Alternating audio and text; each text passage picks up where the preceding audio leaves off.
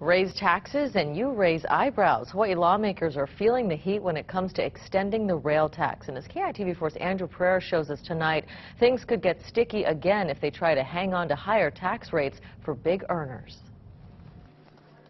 Hawaii's biggest cash cow is the general excise tax, but not too far behind sits income taxes. And when the country was in a recession back in 2009, state lawmakers passed higher tax rates for big earners.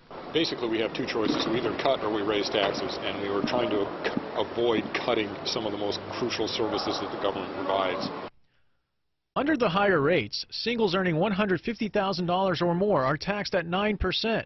For couples, the threshold is 300,000 or more. Singles making 175,000 or more per year are taxed at 10%. For couples, it's 350,000 or more.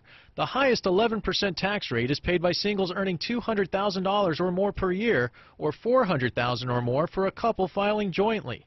The economy has now rebounded, but some want to keep collecting the increased taxes from higher incomes. Uh, there are some people who don't want to see the enhanced revenue go, so uh, there are bills um, that have been introduced in this session to, uh, to extend those rates to make them permanent. Supporters say that's because the state budget keeps growing. I know that by 2017 we're going to be in a pretty tough spot. We have a lot of obligations that we need to meet. Representative Karl Rhoads says progressive taxation is the way to go, citing numbers from the Institute on Taxation and Economic Policy. The wealthiest 1% in Hawaii pays 7% of their total income in taxes.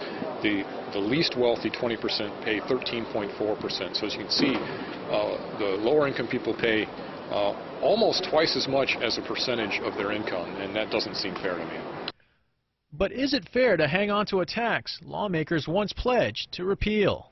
If uh, you want to restore faith in government, you, you really ought to stop um, uh, breaking promises. Andrew Pereira, KITV 4 News.